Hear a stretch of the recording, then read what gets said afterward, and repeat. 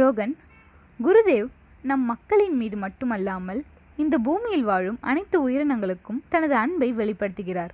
நான் சொல்கிறேன் கேள் என்றான் பவன். பூஜ்ய குருதேவ் சுவாமி சின்மயானந்தா ஒரு முறை சித்தாபரியில் உள்ள அழகான தாவரங்களையும் மரங்களையும் பார்த்து கொண்டிருந்தார் அதில் ஒரு சிறிய செம்மரம் நோய்வாய்ப்பட்டு காய்ந்து இருந்தது. எனவே குருதேவ் உடனே தோட்டக்காரரை அழைத்து மரத்தின் இரண்டு உலர்ந்த கிளைகளை வெட்ட சொன்னார். பின்னர் அவர் மரத்தின் தண்டினை பிடித்துக்கொண்டு மென்மையாக பேசினார். அந்த மரம் இன்றும் இந்த மண்ணில் வலுவாகவும் ஆரோக்கியமாகவும் உள்ளது. மரங்களும் அன்பாக பேசும் மனிதர்களுக்கு பதிலளிக்கின்றன. இந்த சம்பவம் உண்மையிலேயே குருதேவ் இயற்கை மீது கொண்ட அன்பினை சித்தரிக்கிறது.